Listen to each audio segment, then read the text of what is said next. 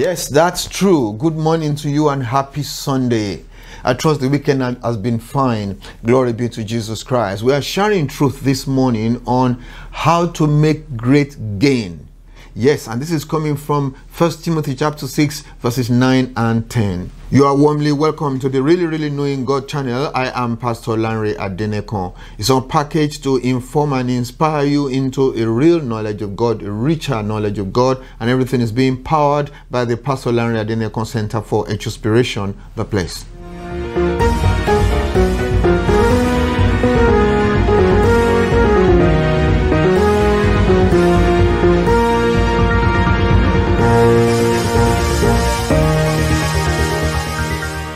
This is Daily Gem devotional, making you a gem to your generation and a gemstone upon the crown of our Lord Jesus Christ.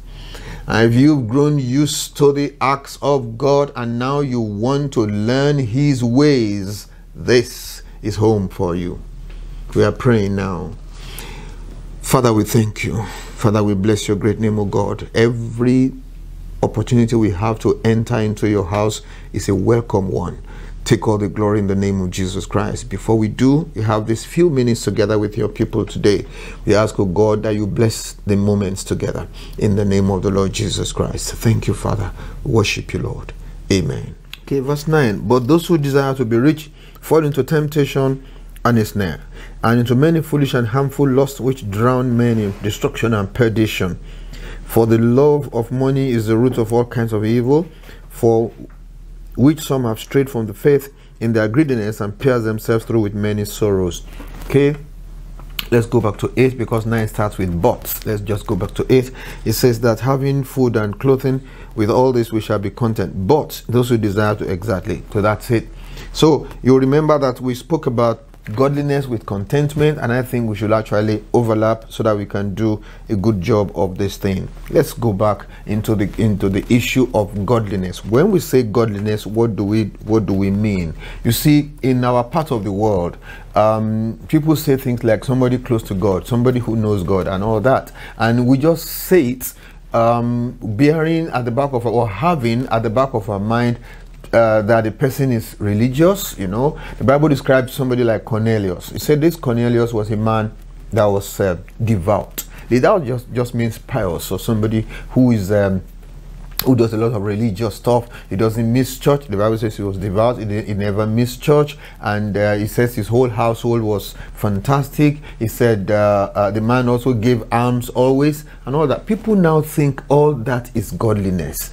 Okay? But God who knew that that is not what godliness is about and saw that in spite of this thing, because of that misunderstanding of Cornelius, and which many people have even today, this Cornelius was going to go to hell. So God had to take a step okay so that this very good man will not end up at the wrong place. A lot of people uh, do not understand godliness and that's why it's important for us to explain what godliness is all about. Now godliness begin with being somebody who is in god who is in christ. The bible says that we are um, saved we are dead or something like that and it says our life is hid with christ in god Okay, now that's the kind of person who can talk about godliness. Somebody whose life is hid in Christ and Christ in God. Then you can begin to talk about godliness. When you are not in God. You can't talk about godliness. You can talk about being religious. You can talk about, you know, all those beautiful things. You can talk about those things. But you see, in the face of the standards of God, you don't have a chance at all.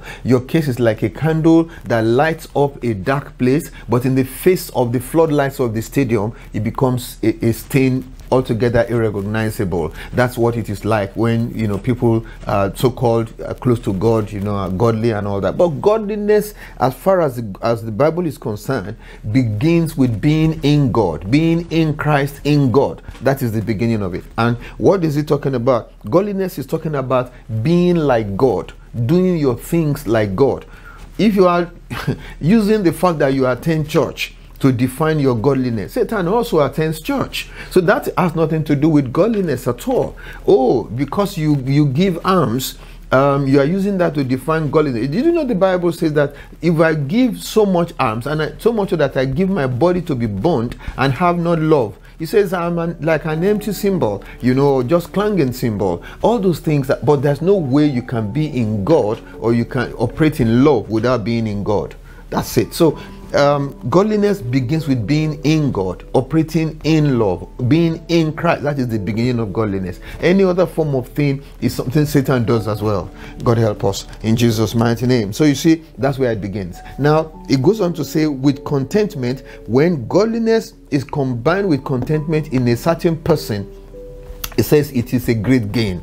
In other words, when people say they are godly, but they don't understand the godliness enough to make them have contentment, it is something and they will enter heaven. But you see, when you understand the godliness thing very, very well, you will be content. It is those who do not understand it, who do not who are not contented, and they rob themselves of what the Bible refers to as great gain here. But when you understand godliness, that I've, I've, tried my best to describe this morning, even though it's not been the, the, the best or the most comprehensive thing because of my time. Nevertheless, when you get a good grasp of it, contentment will follow. But when you do not understand it very, very well, and then you lack contentment, you are going to miss out on what the Bible calls this great gain. It is a great gain to be godly and to be content with it. It is no it is not a great gain when you are godly but you don't have that contentment because you do your your understanding of godliness is faulty or is incomplete then the great gain of a thing cannot apply to you. It's it just cannot apply to you. Um sorry, we shall win in Jesus' mighty name. Okay, then he went on to say that for we brought nothing into this world, and it is certain we can carry nothing out. Honestly, because when you have that godliness of a thing, it, it grants unto you revelation and understanding. When you have revelation and understanding, your attitude to the things of this world will be like the attitude of God because godliness is not about going to church, it's not about being pious, it's not about being devout, it's not about uh, you're raising the kids well, it's not about um, um, giving uh, offerings and alms and things like that. No, it's about doing your things like God, doing your things in a in a way that God does things. You know, um, God, godly a word and and and and uh, um, an adverb as it were okay? So when you are doing your things in a way that is like god you are doing it god likely okay if you like and then you are doing it in uh, um, godly manner. Um, take for example you are doing something quickly. You are doing you know if everybody understand it has to do with quickness okay? So you, when we say godly it means that you are doing your things in the way of God. That's what it means. That you are living your life in the way of God. You are doing it after the order of God or after the genre of God and all that. I, I, I can't describe it a, a bit better than that. I'm so sorry, I don't have enough time.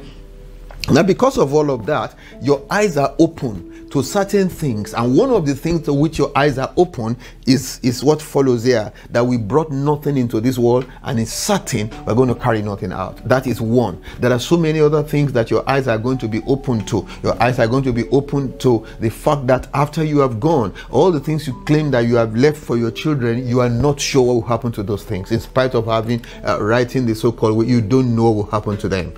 That's the truth. Another thing that your eyes are going to open to. Let's go on. It says that, therefore, having food and raiment, let us, with these things, we shall be content. In other words, look, that certain, once you have the basic things, that's fine. All those other things are bonuses. All those other things are surpluses. They are additions and things like that. You have the basic things along with your godliness. You are fine. You are happy. And when that happens, when you have that, it is a big thing. It is a great gain. That great gain means that not a lot of people have it.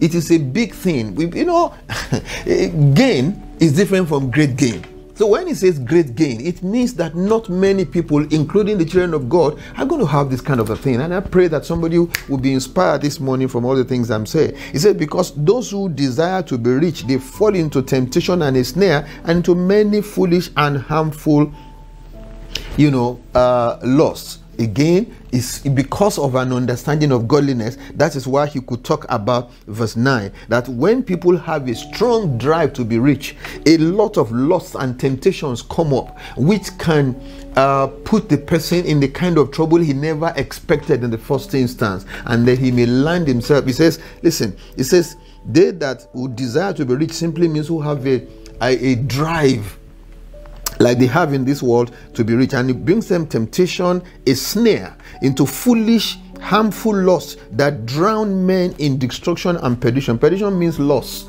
I mean, the person gets lost. Okay? Now, this foolish, harmful lust, they constitute a temptation. A snare is a trap.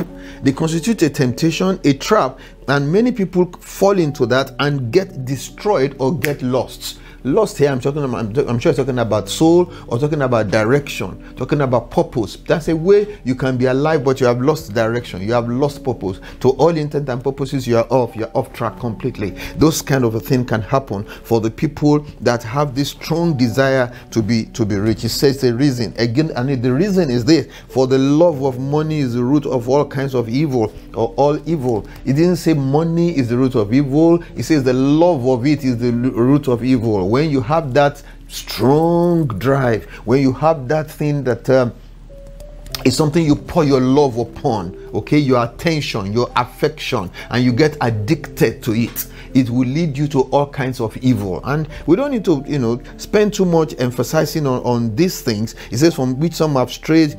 Uh, in the faith, in their greediness, and pierce themselves through with many sorrows. Because of this thing, it makes some people to stray. It makes them to go off tangent. It makes them to derail. Okay, and it makes them to pierce themselves with many many sorrows. But I'm not going to emphasize on this thing. But if, because if you are able to get that understanding of what godliness is all about, and you you have contentment on because you have an understanding of godliness contentment will follow. And that contentment with godliness is great gain. It's not just gain it's great gain. Let's change that great to rare. It's rare gain honestly in other words the majority of the children of god will not have this thing. But some people are going to catch it and they are going to get it and they are going to be so content so happy so pleased with themselves. In the presence of god it is great gain. And that's what i pray for you this uh, very very sunday morning. I could spend a lot of time talking about the love of money talking about the temptation and the snare and into foolish and hurtful laws that drown men in destruction and perdition. I talk about how because of greed